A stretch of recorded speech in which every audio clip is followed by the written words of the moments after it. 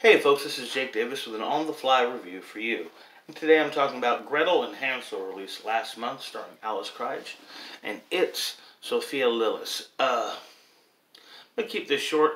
This is, uh, you know, I've, this is of course a horror movie adaptation of the, or adaptation of um, the legendary Grimm's fairy tale Hansel and Gretel.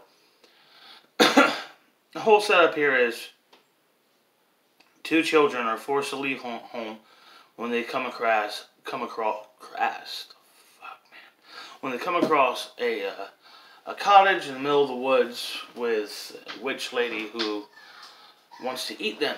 They eventually burn the witch alive, and that's the fairy tale. Um, there's no breadcrumbs. There's no gingerbread house. Uh, Gretel is a naive, boyish, kind of stupid kid, and so and Gretel is a blossoming young woman who is both sexualized and androgenized at the same time. Uh, I gotta say something about you know. It feels like every female in this film is every is either a witch or a whore, and it just it really is disturbing to me, you know, because we're supposed to be in this female revolution and you know the post Me Too mo- movement and you know hurrah for new Hollywood, but this is how you perceive women. You know this or that. I mean, this is really quite awful. Um, uh, I didn't know. I mean, I can't even get around anything else other than in that in the in the film. I mean, that's it's literally it's almost like like when you watch gangster movies how they always tell the kids, well, I could either have joined the family or gone into priesthood. You know, it's like they're telling Gretel the same thing in this film. You could be a witch or you could sell yourself. Um, Satan or prostitution. Jesus. I just, you know, it, that, it bothered me. That really bothered me. Um, on the plus side, I think this film was better than Hansel and Gretel Witch Hunters from 2013, which was just a shameless Blade ripoff. And you know, if you if uh, if if I have to refresh your memories, I absolute memory I absolutely love Blade. I loved that movie from 1998. I did. My very first retro review was for it back in October of 2018. Uh, I don't really have much to say about this movie. I really didn't like this movie. I'm gonna give it one star.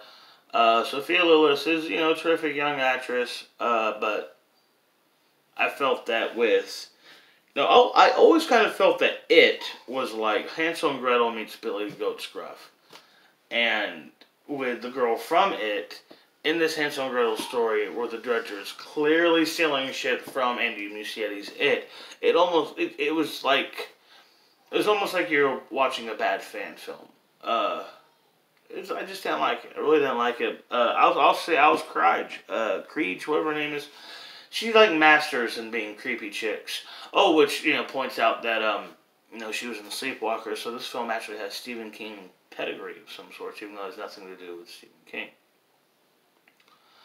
Uh, it's just weird to me. I, it seems like a grim fairy tale horror film is a no brainer and it should work, but you know the Company of Wolves came out in the mid '80s, I believe, ish, '80s ish, mid ish.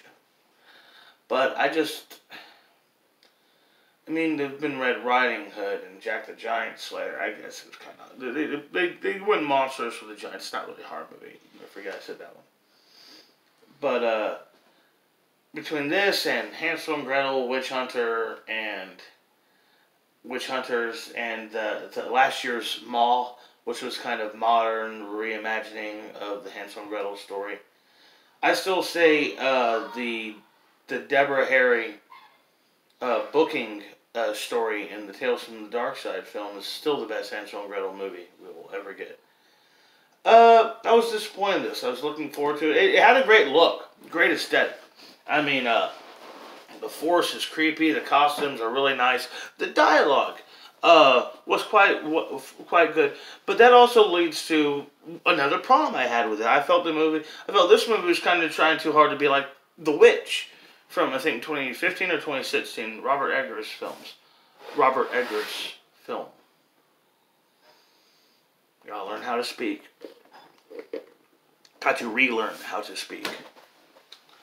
Anyhow, uh, yeah, one star. It, it was a disappointment. Um, I was looking forward to this movie, and even though this sucks, I'm still hoping against hope that one day, one day, we will have a decent fairy tale horror movie.